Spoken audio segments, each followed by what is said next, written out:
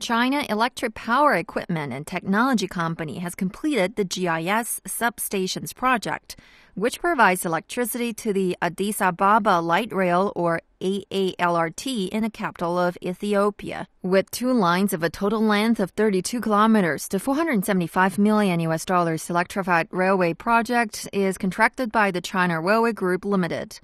Speaking during the commissioning ceremony, Ethiopia's Deputy Prime Minister hailed the completion of the project as a landmark to the AALRT. He said the power supply is dedicated solely to the railway project to ensure reliable power supply to the light rail of the city. The project is implemented within the country's first five year growth and transformation plan, which ends this year. Chen Wei, Deputy General Manager of China Electric Power Equipment and Technology Company, said the project team has worked day and night to complete the civil works, installation, and commissioning.